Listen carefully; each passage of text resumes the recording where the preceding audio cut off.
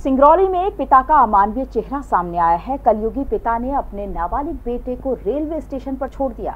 इसकी सूचना स्थानीय लोगों ने डायल हंड्रेड को दी। फ़िलहाल पुलिस बच्चे को उसके चाचा के पास भेजकर मामले की जाँच कर रही है। देश भर में लगे लॉकडाउन के कारण मजदूर एवं मध्य वर्ग दो जून की रोटी के लिए जदोजहद कर रहा है। ऐसे में कई ऐसे किस्से सुनने को मिल रहे हैं जो हर किसी को भी विचलित कर सकते हैं। मोरवा थाना क्षेत्र में एक पिता ने अपने नाबालिग बेटे को रेलवे स्टेशन पर छोड़ दिया। भूखा प्यासा। ये भटकता बालक को देखकर स्थानीय लोगों ने डायल हंड्रेड को सूचित किया, जिसके बाद बालक को पुलिस स्टेशन लाया गया। बालक अपने पिता की मार की वजह से अपने घर से बजाय ननिहाल जाना चाहता था। जानकारी के अनुसार इस बच्चे के पिता रमेश साकेत अपनी दूसरी पत्नी के साथ कहीं चला गया है। फ़िलहाल बच्चे को उसके चाचा के घर पर छोड़ दिया गया है और मामले की जाँच की जा रही है। स्थानीय पार्षद लग्नदारी वर्मा द्वारा आगामी दिनों में उसके पढ़ाई लिखाई का जिम्मा लिया है। परसों रात में डायल हंड्रेड को सूचना मिली थी कि एक बच्चा रेलवे स्टेशन पर अकेले बैठा हुआ है, जिस पर डायल हंड्रेड गई थी। और उस बच्चे को लेकर के थाने आए थे। बच्चा काफ़ी डरा हुआ, सहमा हुआ था। उसको खाना खिलाने के बाद जब उससे बात की गई तो उसने अपना नाम अजय उर्फ़ राजा साकेत बतलाया। पिताजी का नाम रमेश साकेत बतलाया।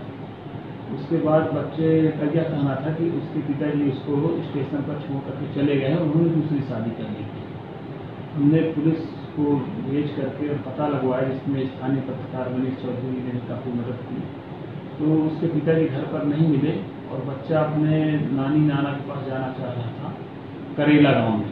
जिस पर करेला गाँव में पता लगाने पर ऐसा कुछ तस्दीक नहीं हुआ। इसके बाद हम उस लड़के का पता लगाते हुए उसके चाचा उमेश साकेत को कश्मीर में सुपुर्द किए हैं और इस बात की जानकारी रख रहे हैं कि उसके पिताजी जैसे मिलते हैं तो चाचा के पास उसके पिताजी के पास पहुँचाया जाएगा और पिता से पूछताछ की जाएगी क्यों क्यों और किन स्थिति में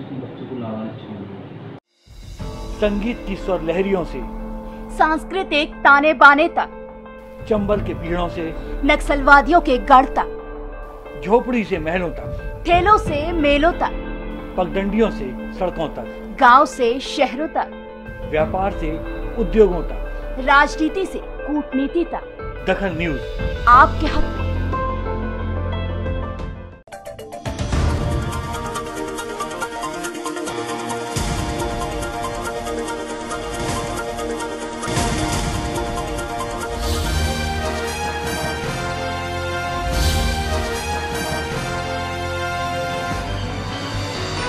आप देख रहे हैं दखल न्यूज़।